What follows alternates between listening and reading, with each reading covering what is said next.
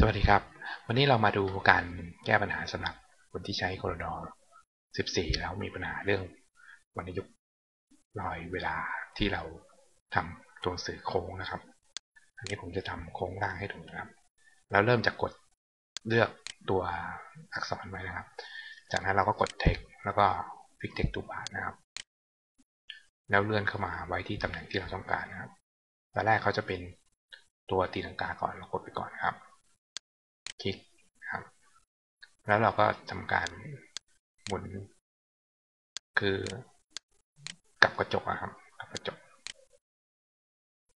แล้วก็จับตรงมันจะมีสีแดงๆนี่เห็นไหมครับ ดึงยืดออกมา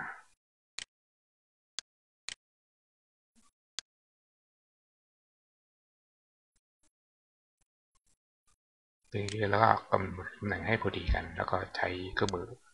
เชฟทูนะครับดึง เพราะว่าตัวหนังสือมันค่อนข้างติดกันเกินไป แล้วเรามาเลื่อนทีละตัวได้นะครับ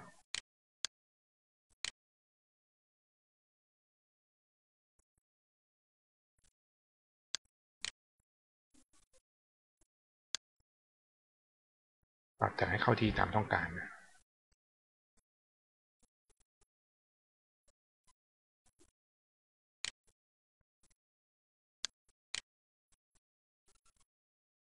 จากนั้นเราก็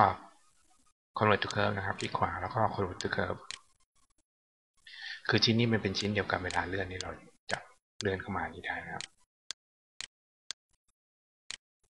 แล้วเราก็ทำการหมุน แต่มันยังเป็น object เดียวกันนะเราจับ select เฉพาะตัวที่เราต้องการหมุนแล้วเรากดตรงนี้นะครับ rotate มันจะหมุนเฉพาะตัวที่เราเลือก ตัวโหนดที่เราจับ ในหมวดของเชฟทูนะครับ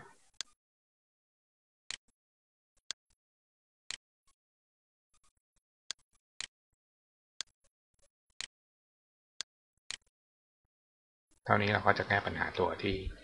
มันยกลอยได้นะครับ ลองทำกันดูครับ